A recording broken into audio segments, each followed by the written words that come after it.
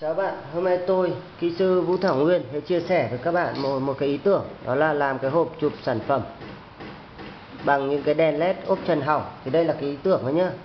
Còn thực ra là tôi vẫn chưa ráp ốc vít các thứ vào để thành một cái hộp hoàn chỉnh.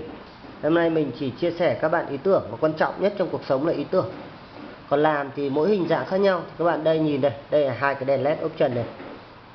Loại đèn led vuông nhé Của mình là cỡ 25 25 Đấy, các bạn mục đích ở những cái đèn led option này, chúng ta lấy được cái tấm polycarbonate, cái tấm màu trắng ở bên ngoài cùng nó ấy.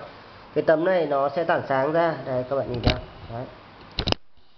Thì có những cái hộp ừ, chụp sản phẩm mà kích cỡ 60 60 sử dụng những cái tấm màu trắng trắng này này, thì trên mạng nó bán với giá khoảng 5 600 mà chưa bao gồm đèn led đấy thì cái vấn đề là đèn led thì các bạn có thể lấy những cái đèn led đèn led này, để các bạn dọi sang hai bên này. Này nếu mà các bạn muốn chiếu ở trên nữa thì các bạn phải sử dụng ba bộ đèn led. Đấy.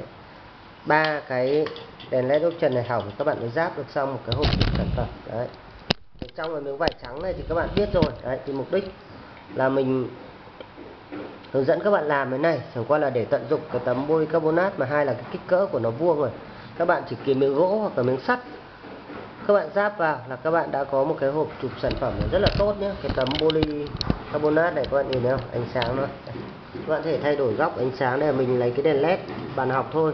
Còn chuẩn thì các bạn phải sử dụng những đèn led dọi như kiểu này này. Đấy là đèn led dọi chất điểm. Đấy các bạn nhìn thấy. Đấy.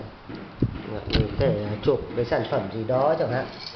Như cái adapter đây là trong điều kiện thiếu sáng nhé đấy, mình quay ở vậy thôi. Đấy ví dụ cho các bạn. Đấy. có mỗi cái đèn phía trên mình đã hướng dẫn các bạn tận dụng cái led option hỏng làm cái hộp chụp sản phẩm. Để chúc các bạn thành công nhé.